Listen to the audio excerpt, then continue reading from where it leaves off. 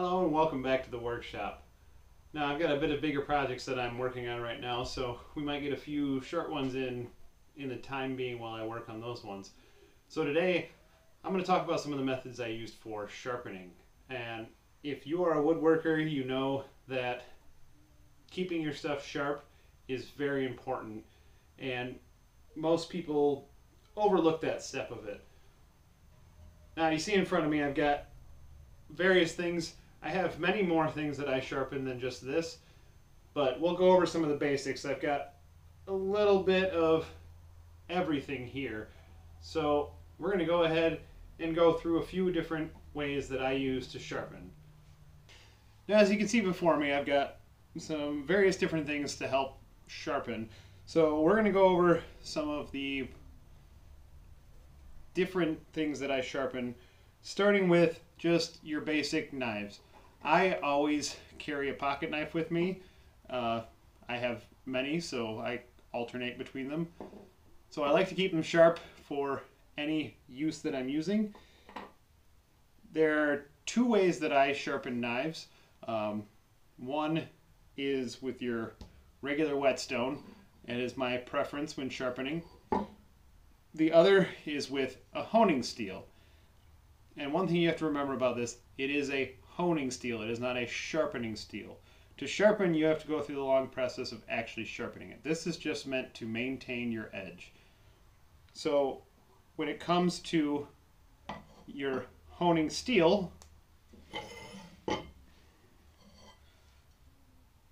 you're basically taking the bevel of your knife, which in this case is probably about 20 degrees on this one. This one was recently sharpened, so it really only needs to be honed. Um, you're creating a wire edge right on the end here. Um, the method that I use basically for honing is whatever amount I start with on the honing steel, I do one less on each side until I get down to one. So you'll basically end up standing it on end. You'll start on whichever side you want to and basically just get to your angle and just one, two, three, four, five. One, two, three, four. One, two, three, one, two, one. It's a very quick process and it makes for a pretty nice edge if it's already been sharpened. Now, if the edge is a little duller, which this one isn't too bad right now, but it takes a little bit more practice. You do basically the same thing on the whetstone. You'll get it wet first, and you'll run across to try and reestablish that edge, and then you'll switch to the honing steel and do the same thing when you're trying to maintain it later. Most of my other tools, I end up using primarily various whetstones. This is a very fine stone, but I have many that are many different courses. I would start with a very coarse stone and move to a very high coarse stone. Um, I like to put a towel underneath here to keep it from slipping. So we'll look at just a straight chisel. And I've got two different kinds here. I've got my very large one and I've got a very thin one. Basically when I do chisels, and it's the same process with the hand planes, you have to be very good at keeping the angle the same as you're doing it. I always like to start by flattening the edge, which I will do right across the stone here. Just make sure it's flat, put a couple fingers on here to add a little pressure just to keep it straight on the on there. Otherwise you can use something like this, which is a honing guide. This will hold it in place. You'll clamp it down and that'll hold it at the bevel and it's got a little wheel here that runs across your stone that helps maintain where that edge is. These are generally made for wider chisels, um, hand planes. So the hand plane, mine, I always keep around 25 degrees. So I will establish where that flat point is, clamp it right down in this, and use that as a guide. Over the years, I've gotten far more comfortable with it. So you can get very good at holding where that angle is as you're sharpening. The last one is a little tricky, and I will admit I am not the greatest at it. I get a good enough edge for me to work with, but I still need quite a bit more practice. But is your gouges. It's a curved surface, which makes it a little more tricky to sharpen.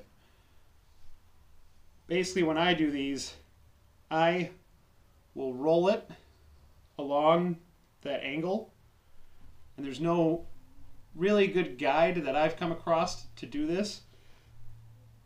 But you can roll it across the angle to get that angle on your gouge, and then you can clean it up with a leather strop.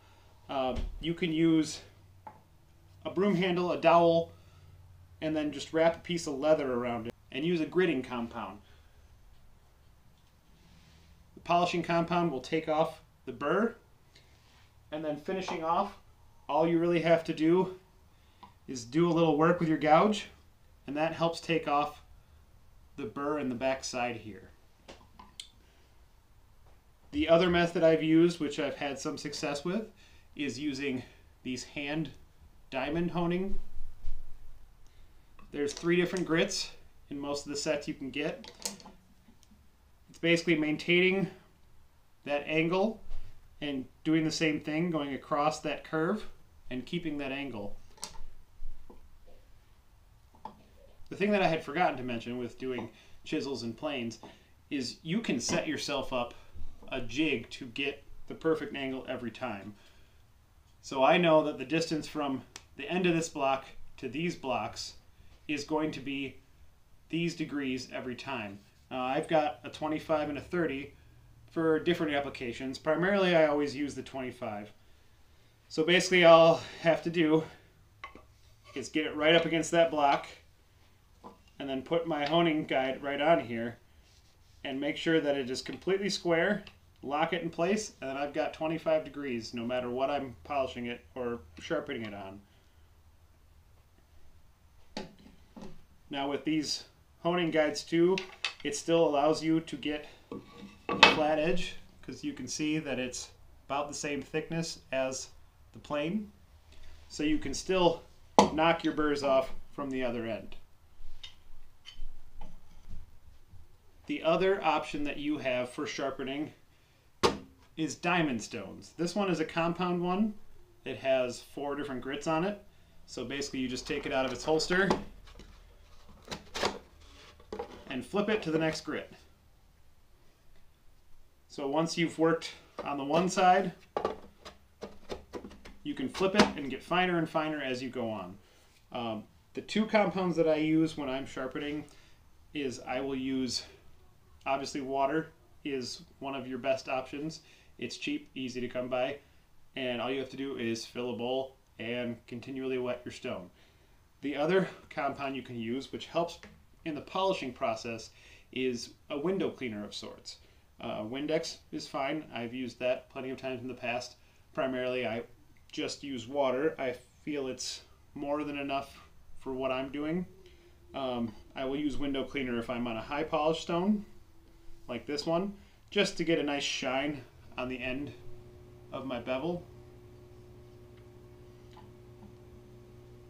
But other than that, those are the methods that I primarily use when I'm sharpening. And if you are a woodworker and you like to use hand tools primarily, like I do, sharpening is going to be a big part of what you're doing. So getting good at sharpening is also very important. They always say that a dull knife will hurt you more than a sharp knife will. If you have to force it at all, it is more dangerous to you you want that cutting edge to be very easy to cut through what you're working on. I hope that you found this helpful. A big part of having tools is maintaining them. And if you can't keep your tools nice and sharp, it's going to make you struggle along the way and it's going to hurt you in the long run when you are learning how to do woodworking. I hope you found this video helpful.